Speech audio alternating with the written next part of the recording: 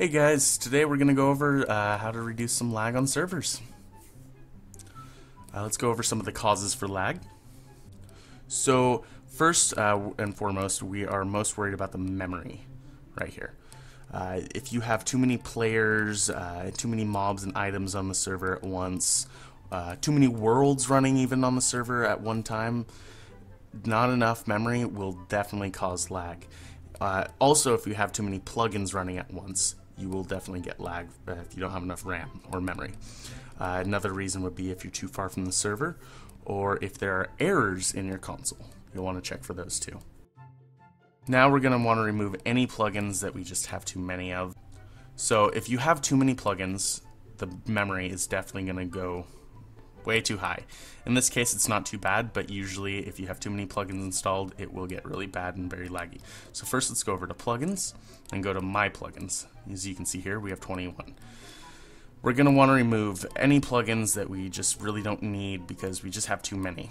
Uh, usually we recommend about 10 to 15 plugins, at least I would recommend that for a server with 1 gigabyte of memory. Uh, so every for every one gigabyte of memory, I would recommend about 10 plugins max. Any more than that could start bogging down your server and cause issues. So we removed any plugins we really didn't need and kept all the ones that we needed essentially for our server. After you remove the plugins, go up and restart your server. So next we want to reduce the view distance. So let's go over to File Manager over on the left.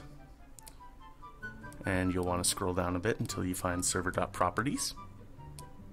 From here, you're going to scroll down a bit more until you find view distance equals 10. You might want to remove this, uh, change it to either 6 to 8 uh, would probably be best. We're going to go with 6 right now. Click Save, scroll back up, and click Restart.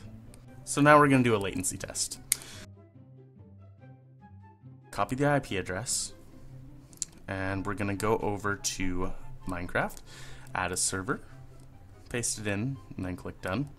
And then you'll see up at the top uh, where it shows the connection status. Just hover your cursor over it, and it will show you your ping, which is 89 ms in this case, which is pretty good. The higher the ping, uh, the farther it is. Basically, uh, what this means is when you're too far away from your server, the connection is slightly delayed. So the best way to fix this uh, to get a lower ping uh, would definitely be to try to get a server that is closest to you physically. Uh, in that case, if you are in the US or closer to the US than Europe, then you should definitely get a US based server. Otherwise, if you are closer to Europe than the US, then you should go for Europe's. So now we're going to go over ClearLag. This is an awesome plugin that's recommended for absolutely any server click on plugins and search for clear lag. You'll most likely want to make sure that it's the right version, but in this case we're using the latest version. Uh, 1.7.9 should be just fine for 1.8.8 and then restart your server. We're going to want to go over some of the console errors and how to find those. So first thing you want to do is go over to console over on the left side and you'll see all the uh, console First off, you want to look for any errors. Right here it says error. This one is caused by Essentials. It shows the essential uh, shows the plugin, what it's caused by, and the version. And over here it says, is it up to date? So in this case, this error is caused by the plugin not being the correct version for the server we're running, which is 1.8.8.